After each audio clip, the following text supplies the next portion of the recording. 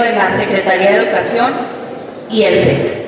Entonces, el sustento legal de nosotros es una resolución de ampliación de cobertura donde la Secretaría de Educación nos autoriza a titular a nuestros estudiantes como técnicos en agroindustria alimentaria o técnicos en sistemas.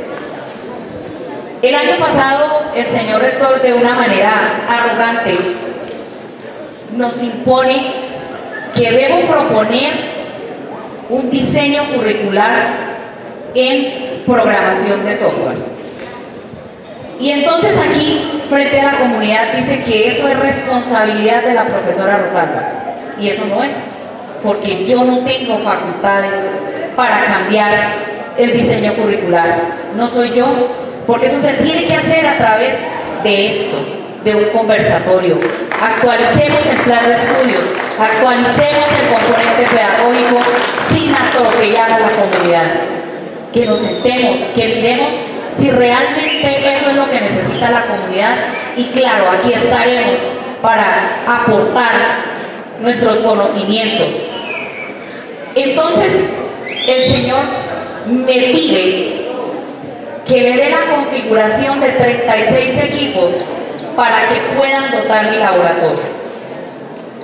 Y mi laboratorio tiene, mis estudiantes de sistemas que están aquí, tenemos 17 máquinas tipo escritorio que recibí el 20 de julio del año 2008. La cosa más obsoleta. Y hacemos magia para hacer clase. ¿Y cuál es el agravante?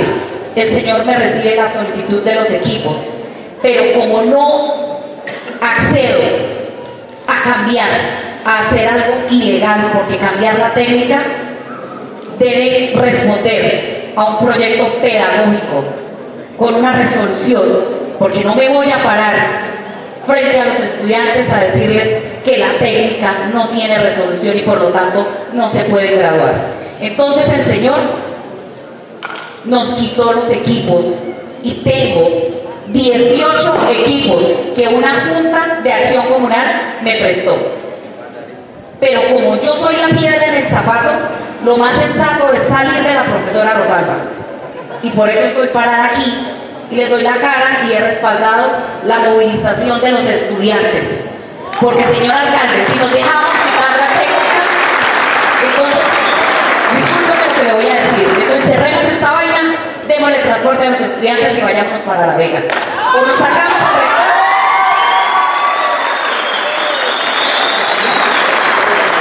O sacamos al rector, porque me persigue laboralmente y le voy a instaurar una demanda por acoso laboral.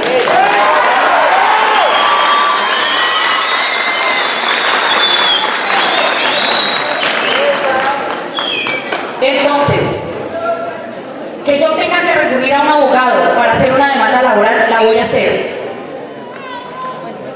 Porque me persigue laboralmente. 30 años de servicio y es la primera vez que yo recibo un memorando.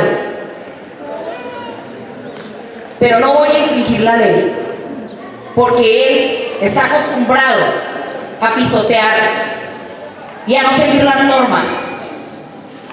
Y yo no me voy a prestar a su juego sucio, donde no nos da materiales y no, no pudimos hacer muestra empresarial el año pasado, porque me faltaban cinco cables BGA que valen 30 mil pesos y los puse en mi bolsillo, no me duele.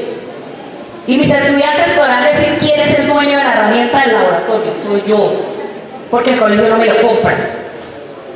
Porque se pagaron 4 millones y medio por una guadañada y los, y a los estudiantes no se les da el material. Porque si vamos a usar el sonido del colegio no nos lo prestan. porque las cosas del colegio son de los estudiantes, porque si la profesora se va, el colegio queda. Y porque ustedes me conocen, llevo 16 años aquí. Muchas gracias.